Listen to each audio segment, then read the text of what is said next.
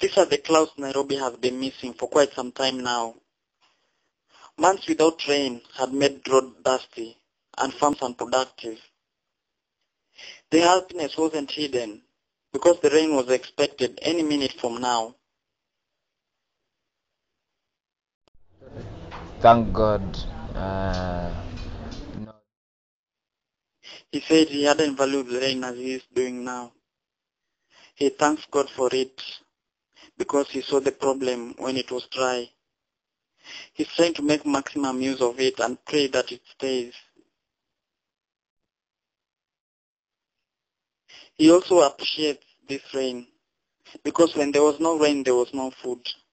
The post-election disrupted their farming schedule. He also blames the lack of rain to the rapid urbanization and the cutting of trees. chakula ni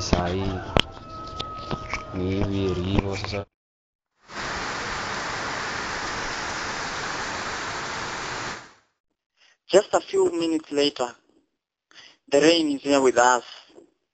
At least the frequent tap water rationing has to stop, and the seeds will be planted again. We have to pray that this rain is here to stay. Neville Omondi, reporting for Voices of Africa from Nairobi, Kenya.